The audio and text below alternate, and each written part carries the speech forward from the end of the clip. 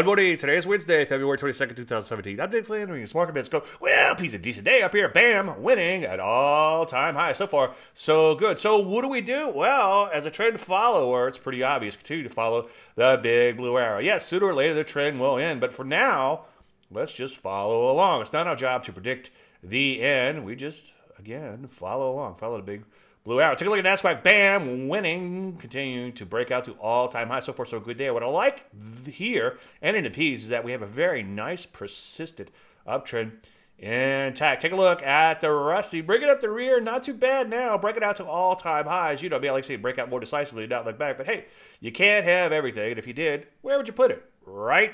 Anyway, as far as the sector action, as you would expect, most are looking pretty damn good. As you can see, health services breaking out to new highs. Anything technology related doing fairly well. In here, transport's doing well, breaking out new highs. That's hardware, software. So the list goes on and on. So what do we do? Well, follow along. Any questions, usual, Dave, I'm Dave Landry. You sure market